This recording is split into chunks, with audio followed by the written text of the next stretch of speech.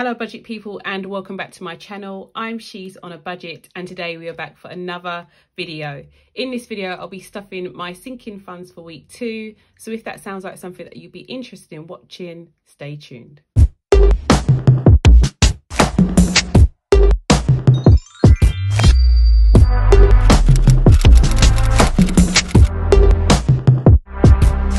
Okay guys, so we are back for another cash stuffing video two things to start off with. This video is very late so i'm filming this video on the 15th of august. So usually i try to film my cash stuffing videos at the beginning of the week but this week has just been a bit of a nightmare which i'll go into in a second.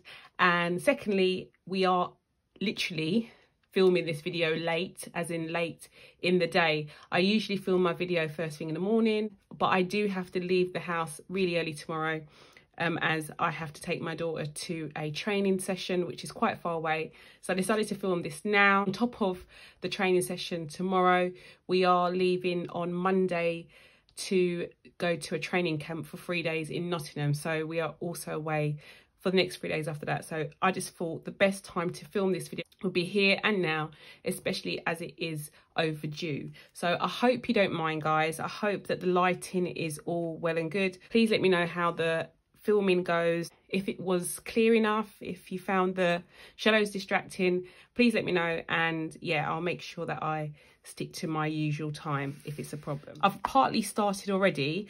I've already got my cash. So obviously this is the evening now. um, so I've already got my cash ready to go. Um, I used my cash totals card earlier and as you can see um, it's quite a small stuffing this week but I filled in the amounts that I needed. So in total we are stuffing 55 pounds into our envelopes. So we have two tens we've got 20 here and then we've got one two three four five six seven seven fives. And that goes here. I only stuff all of my cash envelopes fortnightly. So every other week I'll stuff them all. Um, but then the alternate weeks to those weeks, I tend to just stuff some of them. So I have a set amount I budget for each cash envelope and that's just how it pans out. This week I'll be using my blue Sharpie pen to fill in my budget sheet. So yeah, let's get started. Okay, so the first envelope that we have is our allotment envelope and we should have 75 pounds in this envelope. So let's do a quick check. So we've got 20, 40, 60, 70 and 5. And that goes back in here. This is a bit of a story time video as well guys. So much has happened this week and yeah i definitely need to share it with you. It's crazy what has gone on so far this week. So next envelope we have is car tax and car tax is not being stuffed either but we should have 65 in here. Okay so 20 40 60 and 5 so that goes back in here Okay, so the next one we have is our car maintenance envelope and car maintenance, we are adding in 10. I'll take out what is inside of it and you'll be surprised to see that we only have 40 pounds in this envelope. If you remember last week, I did say to you, I thought I would need a new tyre.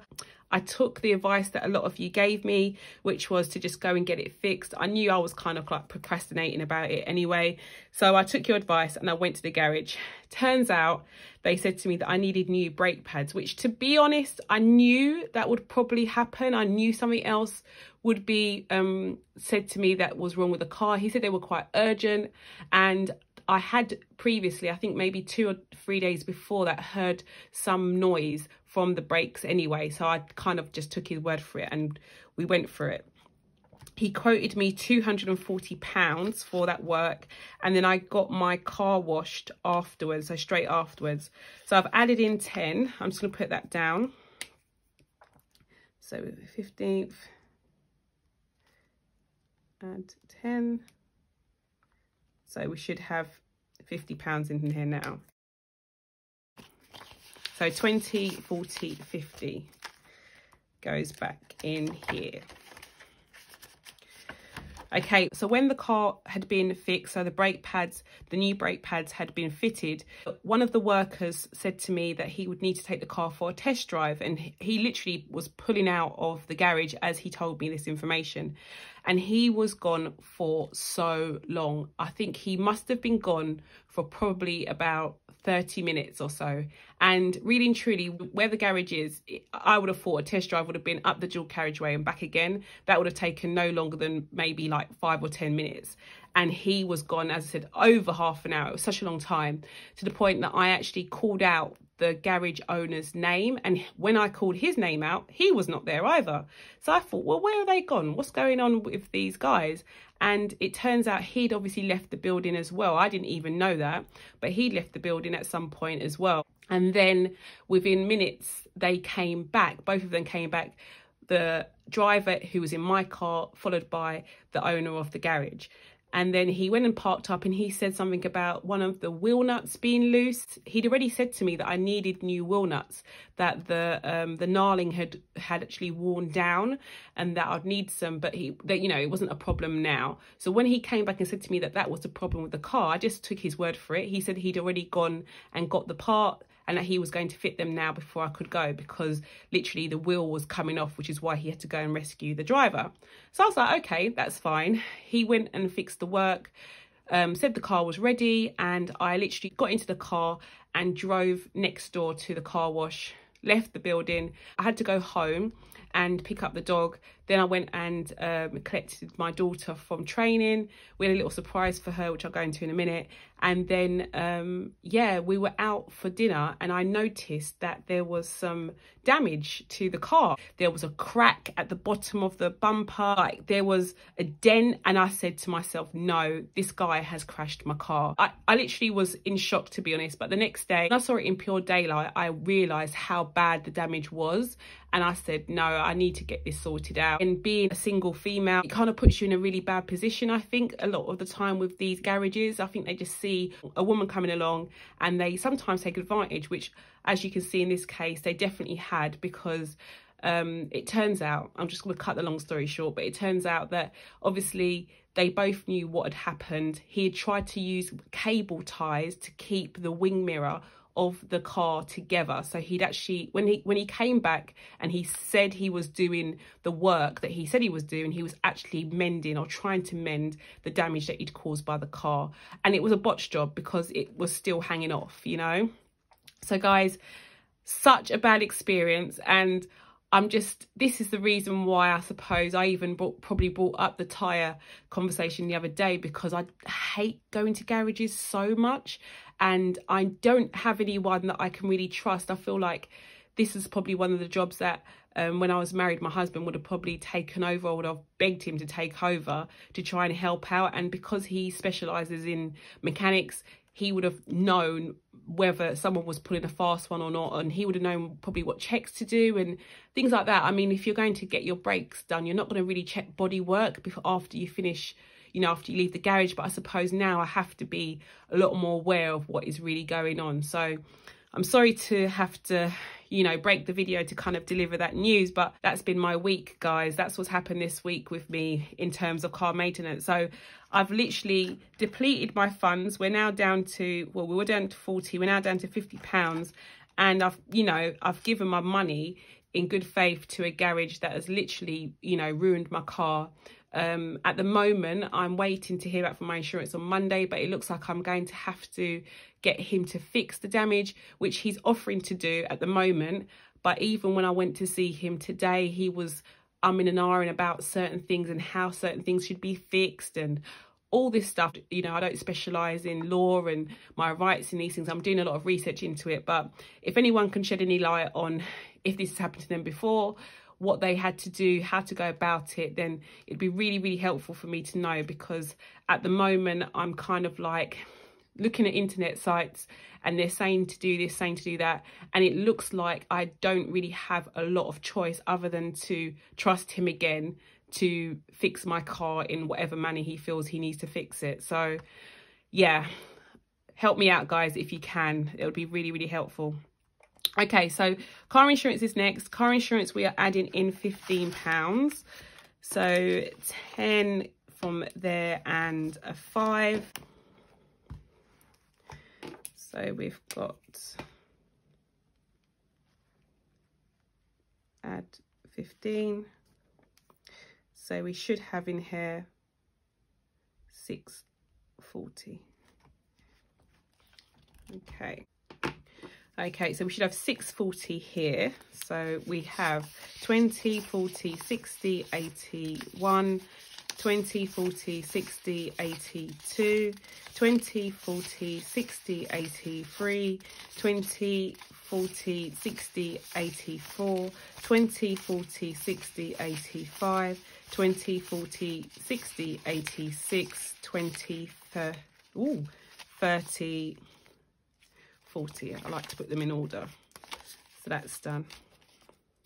Yeah, it's just so disheartening as well. I mean, you see that I, I don't really, there's a lot of other YouTubers that put a lot more money into their sinking fund envelopes than me. I literally put in, you know, five pounds here and there each week. And you've seen how long it's taken me to like build up these funds and then to have like my money literally just taken in good faith to do a job and then come away out of pocket because someone has damaged my property is just so upsetting that I can't even explain how upset I've been about it. But I'm trying to get over it because I know that, you know, it's all material things and they don't, you know, you can't take them with you and things like that. So I'm trying to get over it, but it has really upset me a lot. The next we have is gifts.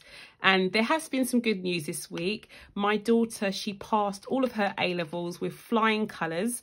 She hasn't let me share the grades yet, but let's just say that she got into her first choice of uni. And if you've heard any of the news lately in the UK, you'll know that 40% of the students in the UK have been marked down um, by at least one grade or so. So there's been an outcry from a lot of schools as to how badly they've been treated. But I can say with full confidence that my daughter hasn't been caught up in that and she's done really, really well. And we took her out and when I say we, I mean myself and my younger daughter. We all went out for a meal to celebrate. And I took the money for that meal out of this envelope. So I used £53 in total from the £75 that we had in here. So we have now got £22 in here. And I'm just going to show you. So we've got two tens and then the two pounds. So yeah, it wasn't all doom and gloom, guys. We have spent a lot of money this week but some of it has been for a really, really good reason. So I'm happy about that. Next, we have Harley. Harley is our dog and she is getting five. So let me just put five in here for her. So Harley's getting five and we are adding five. So in total, we should have 80 pounds in here. I say it every week. I still haven't booked her groom in. And yeah I'm, i need to get that done.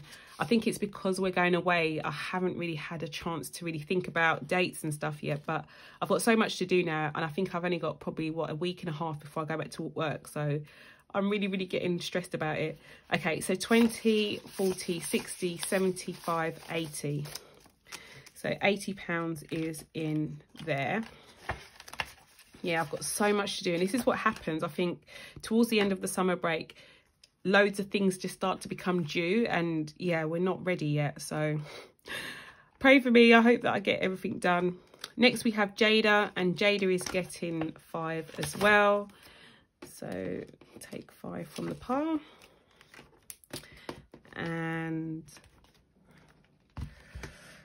so 15 add five so she should have 113 here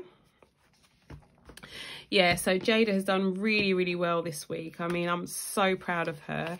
Um, so many obstacles. As you know, she is a full-time athlete as well. So she's had to, you know, balance training with her studies and stuff like that. And, you know, just so amazing how she's done. I'm so proud of her. So 20, 40, 60, 80, 1, 25, 30. So she's done really, really well and deserved it all, I have to say, guys really really good okay next we have is Nevea and Nevea is also getting five so we put that over here so we're going to add five to Nevea so we should have 190 in here So let's do a count. We've got 20, 40, 60, 80, 1, 20, 40, 60, 85, 90. Goes back in here. Okay, next we have my personal sinking fund. Some money has been taken out of here as well. So we have got £15 in here. We had £35 last week. I took out £20 from here because I decided to treat my daughter to some flowers just to give her a little present um, for doing so well in her exam.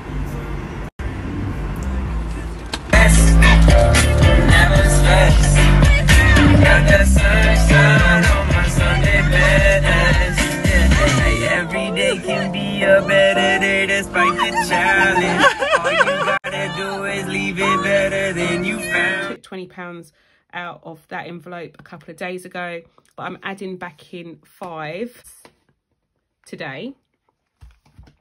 So we've got 15th, add five. So we have got £20 in here. And that is just gonna put that in order. So 20 pounds is going back in here. And then we have my son next. So Tyrese is getting five. So I'm gonna add five from here.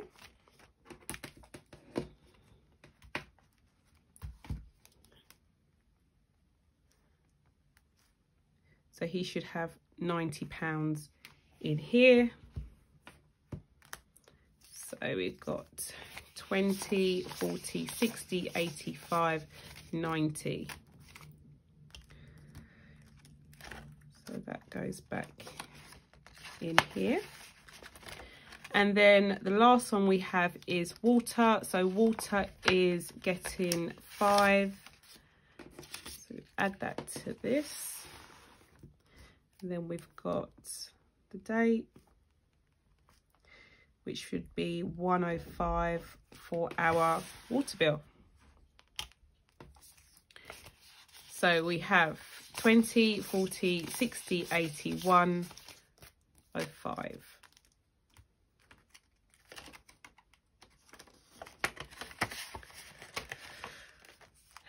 Okay, so, so far we still haven't added any money into our canoeing envelope. I will be putting some money into this envelope next week from the grant money that I received for her, just so that I can keep a closer eye on budgeting. But yeah, that is all of our envelopes stuffed, guys. They are all done and ready for another week.